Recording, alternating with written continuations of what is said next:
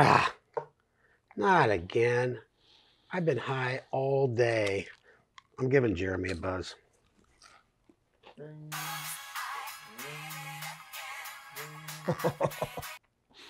Steve, what's up, bro?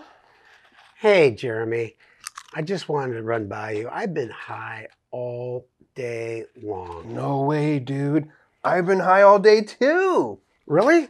Well, at least I'm not the only one. That makes me feel a little bit better. Are you kidding me, dude? This is amazing. I didn't know you got high. When did this start? Jeremy, you know I've been doing this for 50 years. What? Jeremy, you know I've been doing this for 50 years. No, no, dude. No, you're not. What are we even talking about right now, dude? Jeremy, I, I called you to tell you my blood sugar's been high all day. I ate a couple donuts for breakfast. I had one after lunch. No way, dude. I've been eating donuts all day too. This is getting creepy. Well, Jeremy, maybe that's why you're high. No, dude. The donuts didn't make me get high. the high made me get the donuts. but anyways, my blood sugars have been amazing today, dude. My time in range has been like 99%. Jeremy, you just told me you've been high all day. Totally, totally high. Jeremy, I don't, know what the hell you're talking about. Me neither, dude. me neither. All right. Well, I hope you enjoyed our little intro. We had a lot of fun making that. Uh, the script kind of writes itself. Um, but, you know, we wanted to talk about marijuana and diabetes. And I love, you know, I had a lot of fun Googling um, pictures and stuff for this talk. So this one came up. Diabetics are the only people who take drugs to avoid getting high, uh, which just says it all. Um, and, you know, I have to admit, in, in making this talk, um, there's a lot more to this than I initially thought in terms of the research with marijuana in general in health, and then specifically to diabetes. So this is the talk that I probably spent the most time on, just kind of researching and learning about. And we have to ask this question: Why? Why do we want to talk about this this topic? And you know, I'd say there's actually a third reason. So one, marijuana use is very common, and I'm going to give numbers about you know how common this is. So you know, I think there's still this kind of like giggly culture about it, or like, you know, like it was a lot of judgment associated around it. Um, but that's kind of the second point that it's also now legal in most states. So this is a legal drug that is used by a lot of people. So we have to have this thing. So we can't have our head in the sand about it. You know, this idea of like, you know, it's just these people over here or those people using it. And we shouldn't talk about it. You just shouldn't do it. Um, again, if you have a common medication that's used by a lot of people, you need to talk about it.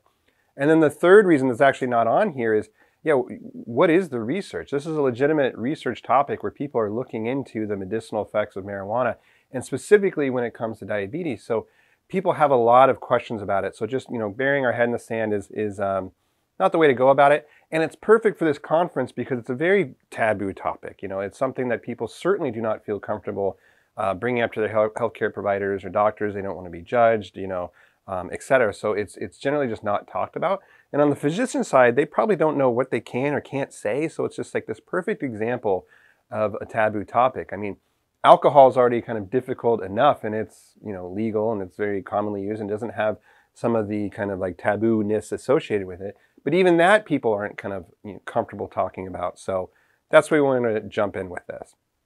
Now, this says, what is more common? Using marijuana or having diabetes in the United States? If you had to guess, is there more people in the United States living with diabetes, type 1 and type 2 all together, we're all blood brothers, or people that use marijuana? And it's, it's very similar, there's, but actually there's more people that use marijuana. There's 40 million Americans, they say about 12%, that's been pretty constant, of people that are at least willing to admit on a survey that they use marijuana, and 12% is about you know 40 million Americans versus 34 or so million uh, people living with diabetes. So that means that there's more people using marijuana than there is with anybody using any diabetes drug. It's more common than any diabetes drug. So of course we need to talk about, you know, the effects that it's going to have. It's not to say that everybody with diabetes is using marijuana. It's just saying that it's, it's again, it's very, very common.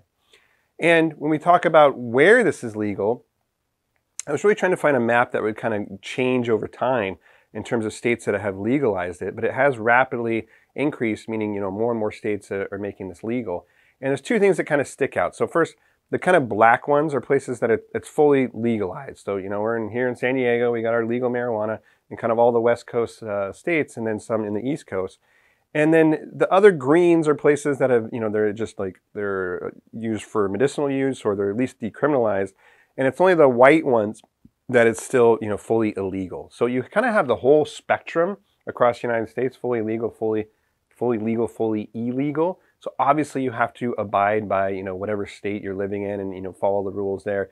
Uh, I hope it goes without saying that we would re- never recommend at TCOYD doing anything illegal that you have to be in a state where this is legally used and you're using it safely, which is another, you know, reason of doing this talk.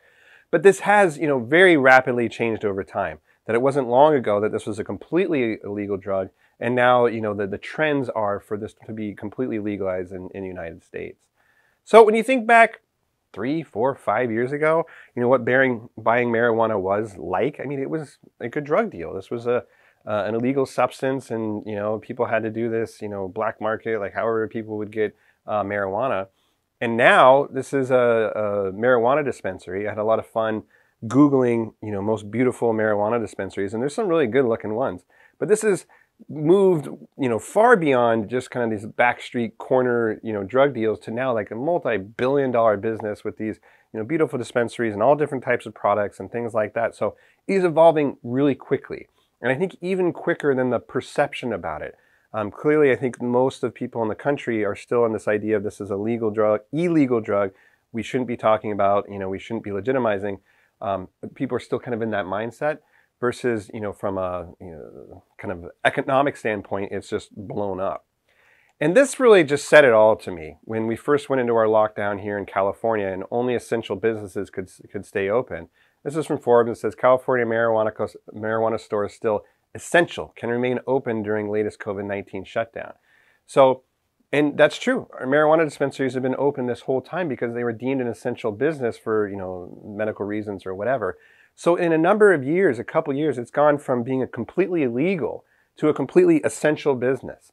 And uh, that's doesn't matter how you feel about it. You know, maybe you think that's not right or it isn't right or, you know, your political leanings or whatever it is. That's the truth of the matter of what we're the day and age that we're living in.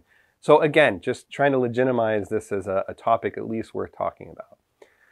Now, a little bit of background on marijuana and, and how it works and a lot of times people will, will put cannabis and, and marijuana type products into one big bucket, but really it comes down to two different chemical compounds or two different products, which is THC, which is uh, basically marijuana. It's the compound that elicits the, um, the, the sensation of getting high. So when we talk about marijuana, weed, things like that, that's the THC occupying the CB1 receptor. And when you occupy the receptor, that's when you get all the kind of the effects of being high, essentially.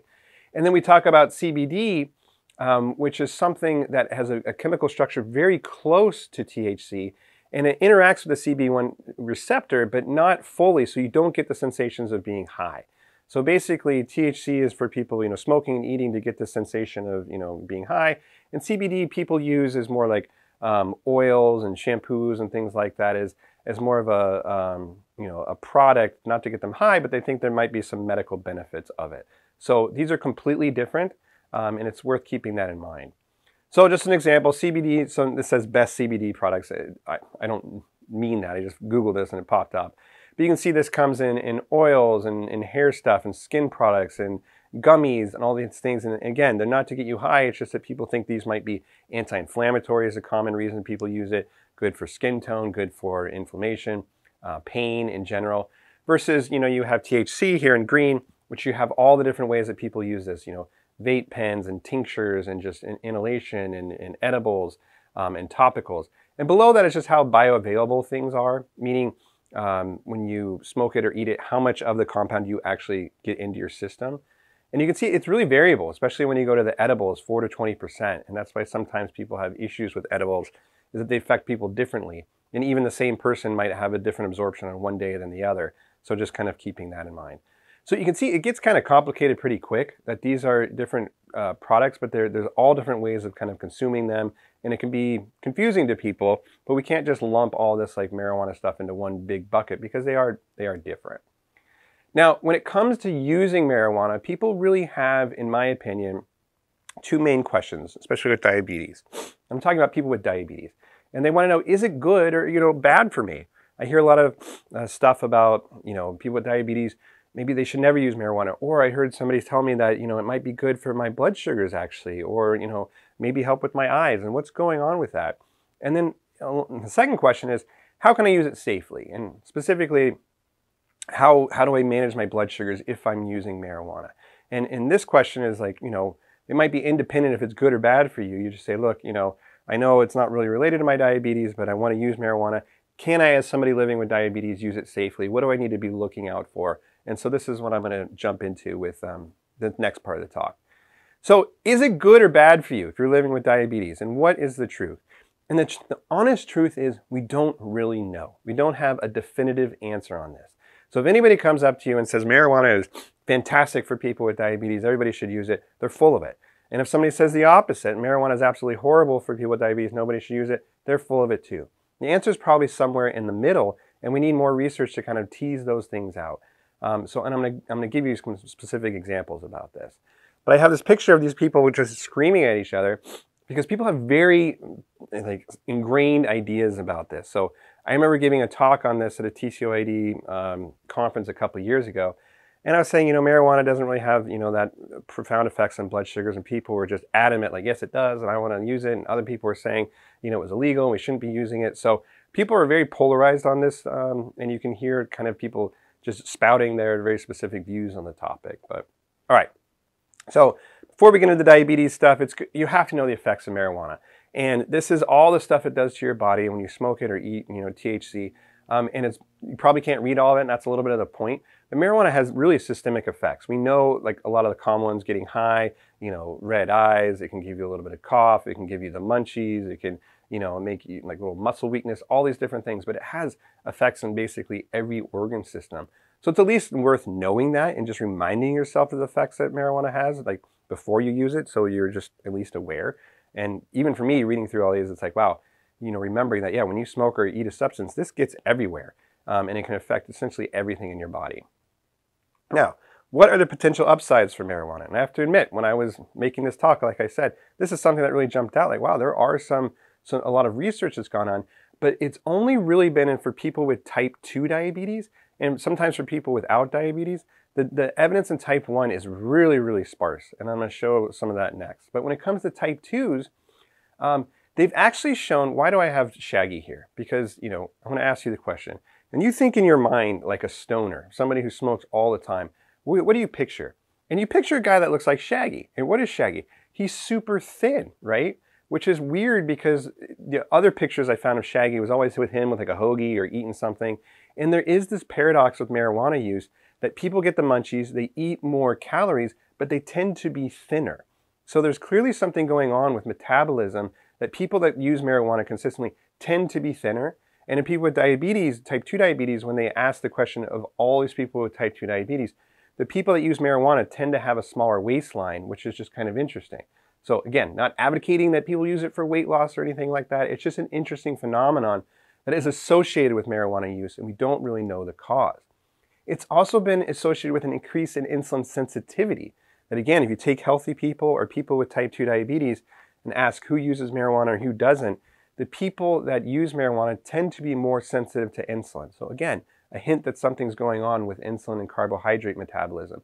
We don't really know this in type 1 diabetes. Lots of evidence obviously helping with pain, uh, aches. This is something that you know we clearly use it for people, cancer patients that have kind of chronic pain. This is a known phenomenon, a benefit. Actually showed to increase the good cholesterol, the HDL cholesterol, again in kind of association studies, um, that it showed that it seems to be good for cholesterol. We don't know what that means for heart risk and things like that. And then definitely has some effects on eyes. You, you know, you talk about medical uses of marijuana, people always say, oh yeah, glaucoma. And that's, that is a known, you know, use of it. Maybe some evidence helping with retinopathy and things like that, but nothing definitive. So these are all kind of associations, just kind of interesting findings, but I can certainly say that I cannot say that if you started smoking marijuana or using marijuana, you're going to lose weight and more, be more insulin sensitive. We, we just don't know that. These are just findings that when you poll people with type 2 diabetes, tend to be associated with marijuana use. Now, what about downsides? And this is where the only kind of type 1 evidence we have uh, is. And if you Google type 1 diabetes and marijuana, these are the studies that will come up. And these initial studies were looking at people with type 1 diabetes in Colorado. This was Colorado was the first state to kind of legalize marijuana use, so they, they started asking these questions. And they took all their type 1 patients, or a lot of them, about 400, and, and surveyed them.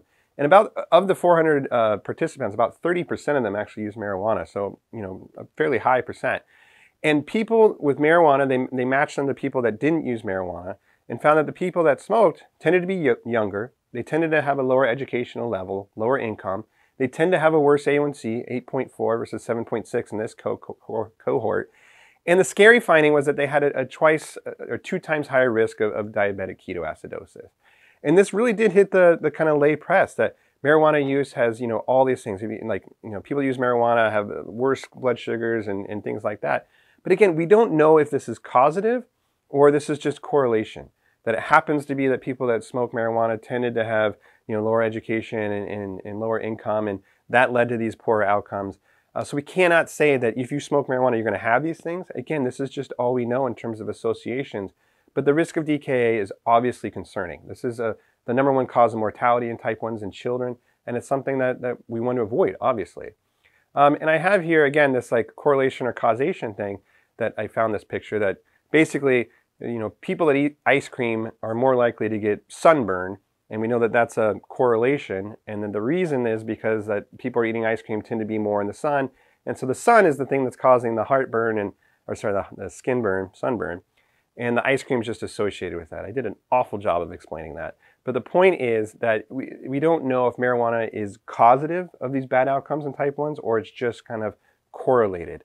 And so that's a problem. But this is something that will come up and you might, you know, encounter, especially as a type 1, that the, the view is like, you know, this is a dangerous, dangerous substance. So this is again where it got a little bit more interesting to me. So I started asking myself, well, why don't we know? If this is such a common medication with this multi-billion dollar industry, I do clinical research, you know, like I would love to study this and, and figure out the effects of insulin sensitivity and kind of a proper randomized control trial of like, hey, you the half over here, you guys start smoking marijuana and you guys aren't. Well, so looking into this more, the FDA has this system for the schedule of medications where basically starting with schedule one, these are medications that are you know dangerous. You basically really don't want to ever use them. They're hard to study. All the way down to schedule five, where it gets kind of more um, kind of easy to use, user friendly things like that. And I just wanted to blow up schedule one here, which is kind of the quote unquote worst medications. And it says drugs with no currently accepted medical use and a high potential for abuse they're the most dangerous drugs of all the drug schedules with potentially severe psychological and physical dependence. And you can see examples on the right. Marijuana is a Schedule 1 medication, and you can agree with that or not. But currently, this is where the FDA has this medication, which makes it very difficult to study. And look at its friends in this category heroin, you know, LSD, ecstasy, um, peyote. I don't even know what that methaquinone is, but I don't, I don't think that's meth. It would be methamphetamine. But, anyways, these are some bad characters in here. So saying that it would basically be just as easy for me to study heroin in people with diabetes as it would be to study marijuana. And you know, personally, I, I don't think they belong in that same category. But when you know people ask like, well, why don't we do more research in it? This is one of the reasons. Clearly, there's marijuana research going on. Clearly, there's CBD research going on, which is a little bit easier. Um, but you do have to go through a lot of additional hoops to make sure that it's it's, it's safe, etc. So it might be some time before we get an answer on this, uh, which is a little bit unfortunate. So what is my take on is it good or bad for me? Here's me just kind of pondering this, and you can see I was really thinking about it. Um, my take is um, is this: we don't really know. I think that long-term use has this association with these positive effects, but you know, for type ones, it might be you know if you get if you get high and you forget to do your bolus, you, your pump falls out. Um, there's some acute problems that can come up that you need to be kind of you know worried about. So my take on it is you know, if you want to use it, fine, do it a legal, safe way, but don't try to convince yourself that it's good for you or it's, you know, it's something you should be doing for your diabetes. Um, just make sure you're doing it safely. And that brings me to my next thing. How can I use it safely? All right, Jeremy, I'm, I'm not trying to say I'm going to use it to lower my cholesterol or whatever. I just, I like to use marijuana. How can I use it safely with diabetes? So how does marijuana affect your blood sugars? And we always compare it kind of to alcohol because but they're different. So alcohol I have on the left has a very direct effect on your blood sugars. It, it, and it's, it's complicated, but alcohol itself will directly affect your blood sugars. And a must-watch thing on our TCOYD video vault is Steve and I actually drinking alcohol in real time and looking how it affects our blood sugars. And you can see the wheels kind of fall off, and including my, my shirt fell off also. Um, and so I'm drinking beer and Steve's drinking hard, hard alcohol. And you can see the different effects of alcohol on our blood sugar. It's actually it's pretty fascinating. So alcohol has direct effects on your blood sugar, meaning if I just sat here and was drinking alcohol, my blood sugars would change. Marijuana, we think, has more of an indirect effect, meaning it doesn't directly affect your blood sugars per se. However, it can do two main things that can affect your blood sugar. It can impair your judgment. And I already mentioned that might mean uh, my pump, you know, if it's uh, the, the catheter is clogged and I'm not addressing it, or you know, I took my Lantus, my long-acting insulin, and then two minutes later I'm like, geez, did I take it? And you either you know take a second dose or something like that, and compare your judgment, just like alcohol. And of course, it, it can cause the munchies. And here's our friends Harold and Kumar. Um, it doesn't actually look like White Castle. It looks more like In-N-Out to me. Um, but you know, it can increase your, your food intake, and these things put together can obviously make your blood sugars um, go awry. So again, you can see that these things clearly will affect your blood sugars, but it's not that just, if I sat here and smoked marijuana like you know all day long, my blood sugars probably wouldn't really change. All right, so how to stay safe, the Jeremy system. So now, don't want to get anybody's ideas that, you know, this is based on all my like crazy, you know, weed use. I just like to put my name into the system because I thought it'd be fun. And there's some stretches here, uh, as you'll see. So J, this is probably the biggest stretch. Just know how much you're smoking, eating, etc. So I I mentioned in the beginning that especially with these edibles, you know, they can hit you at different times. Um, so knowing what you're, you're putting in your system is helpful. And this is actually where legalizing marijuana has been really good in the sense that it's very clear when you buy these products now how many milligrams of THC, et cetera, that you're getting versus before you, you might not have any idea. So if you were just starting to use these for the first time, definitely, you know, starting with very low doses um, and, and knowing how much you're putting into your system to see how much they'll affect you.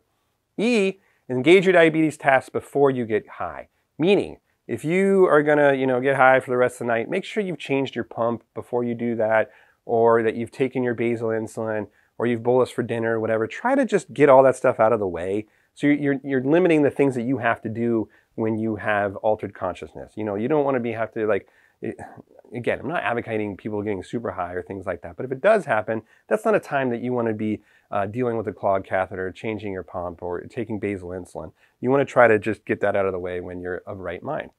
So R, remember to wear your CGM, and that should go for basically any time, whether you're using marijuana or not. But especially when you're, you're on any kind of substance, alcohol for sure, making sure you're on your continuous glucose monitor because you can be notified if you're low or you're high. Oh my gosh, my blood sugar is 400. It's been there for like an hour. Um, you know, I need to figure out what's going on, take you know more insulin, whatever it is. But CGMs can be really helpful to just like always monitor what's going on with your blood sugar. It might be difficult to actually test your blood sugar, etc.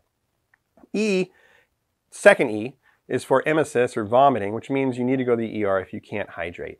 And that, that goes for it actually at any time. That if you're sick and you're vomiting and you can't keep anything down, that's when you're at high risk for DKA. So this gets back to my point of, of marijuana being associated with, with high rates of DKA.